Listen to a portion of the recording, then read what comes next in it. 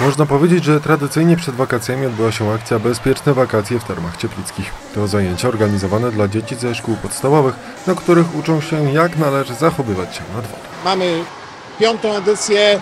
Dochodzimy do wniosku, że tej wiedzy nigdy nie jest za dużo. Jak należy się zachowywać przy wodzie, jak zgłaszać ewentualnie jakieś nieprawidłowości, czy jak uczestniczyć też w procesie udzielania pomocy. Wiadomo, że dziecko ma mniejsze możliwości, ale jego świadomość często, tak jak obserwujemy w mediach, Państwo to propagujecie, ma zdecydowany wpływ na to, czy ta pomoc zostanie udzielona, jak szybko udzielona. Co istotne, to nie jedyna wiedza, jaka została przekazana podczas tego wydarzenia.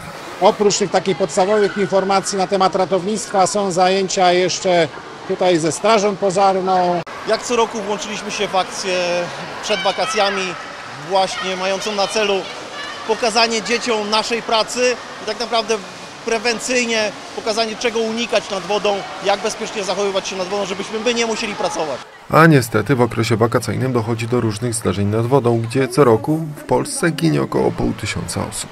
Ponad połowa ginie w czasie wakacji, więc e, ludzie znikają pod wodą. E, Takie akcje robione tutaj to jest właśnie pokazanie dzieciom w jaki sposób zachować się nad tą wodą, w jaki sposób bezpiecznie postępować, gdzie wybrać miejsca do zabawy nad wodą. Należy korzystać z wody, należy się bawić, pływanie jest czymś wspaniałym, ale należy nauczyć się pływać przede wszystkim. Mam nadzieję, że ta akcja e, przybliży dzieciakom właśnie wodę. Czy Waszym zdaniem bezpieczeństwo nad wodą jest e, ważnym tematem? Bardzo, bardzo ważne. Dlaczego? Dlatego, bo może ktoś stracić przez to życie. Prawda. Nauczymy się pływać i dobrze ratować. Żeby nie utonąć i żeby nie stracić tej czas. Dzieci mogły zobaczyć pokaz ratownictwa wodnego, i układa w pozycji bocznej bezpiecznej.